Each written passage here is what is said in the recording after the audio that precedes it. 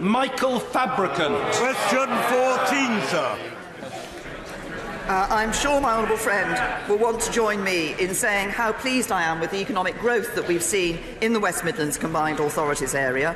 Outputs increased 27% over five years, productivity increased at twice the national rate last year, and employment has increased since 2011. And I think that the West Midlands Combined Authority shows precisely what a local, visible, innovative leadership can do uh, and how it can be the key to building a strong economy and a fairer society. Michael Fabricant. With the Prime Minister's active encouragement, the Mayor of the West Midlands was elected in May 2017. Yeah, yeah and she has supported him and the region ever since.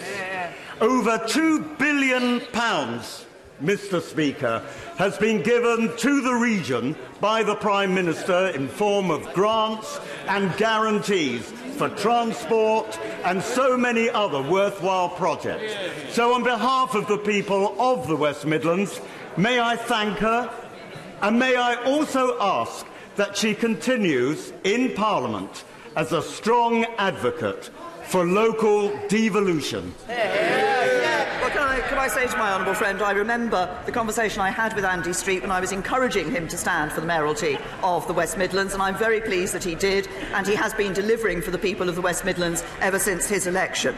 Uh, can I also thank my honourable friend for highlighting the excellent work uh, that we have done for the West Midlands, government working with that combined authority, shows the benefits of the very local devolution that my honourable friend has referred to. And I think this is a very good example of what that innovative leadership, that visionary leadership can do at a local level in improving the lives of people.